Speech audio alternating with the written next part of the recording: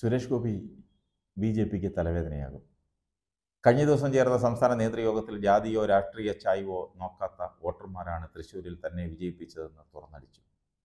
ഇത് കേട്ട പല നേതാക്കളുടെയും നെറ്റി ചുളിഞ്ഞു. അതുവരെ ചിരിച്ചുകൊണ്ടിരുന്നവരുടെ മുഖം കറുത്തു. രാഷ്ട്രീയ വോട്ടുകളും പാർട്ടിക്കാരുടെ ചിട്ടയായ പ്രവർത്തനവും ഏകദേശം അറുപതിനായിരത്തോളം പുതിയ വോട്ടുകൾ ചേർത്തതുമൊക്കെയാണ് സുരേഷ് ഗോപിയുടെ വിജയമെന്ന് പറഞ്ഞപ്പോഴാണ് സുരേഷ് ഗോപി അവരെ തിരുത്തിയത്.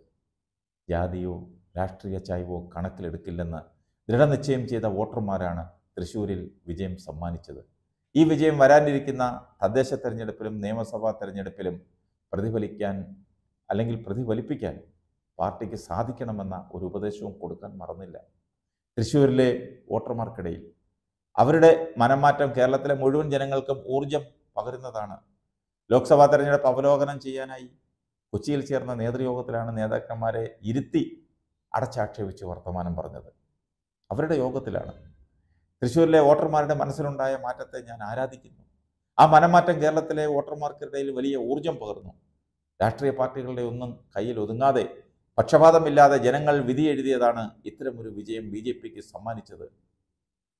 ഇത് വരാനിരിക്കുന്ന തദ്ദേശ തെരഞ്ഞെടുപ്പിലും നിയമസഭാ തെരഞ്ഞെടുപ്പിലും ആവർത്തിക്കുമെന്നൊക്കെയാണ് തള്ളിവിട്ടത്. ചുരുക്കത്തിൽ ബി ജെ പിയുടെ സഹായമോ വോട്ടോ അല്ല തന്റെ വിജയമെന്ന് അടിവരയിട്ട് പറഞ്ഞു. ഇയാളുടെ പ്രസംഗം കഴിഞ്ഞപ്പോൾ ആരും അതിനെതിരെ പരസ്യമായി പ്രതികരിച്ചില്ല. എല്ലാവരും പരസ്പരം കുറ്റപ്പെടുത്തി. സുരേഷ് ഗോപി ഉന്നം വെച്ചതെല്ലാം കെ സുരേന്ദ്രനെയും വി മുരളീധരനെയുമായിരുന്നു. അവരുടെ പേരെടുത്ത് വിമർശിച്ചില്ലെങ്കിലും തന്റെ വ്യക്തി പ്രഭാവത്തിലാണ് വിജയമെന്ന് സ്ഥാപിച്ചെടുത്തു.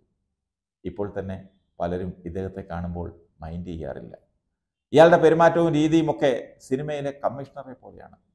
ഇയാൾ പാർട്ടി യോഗത്തിലും കമ്മീഷണറാകും. ഇത് അധിക നാൾ മുന്നോട്ട് പോകില്ലെന്നാണ് പല നേതാക്കളും പങ്കുവയ്ക്കുന്നത്.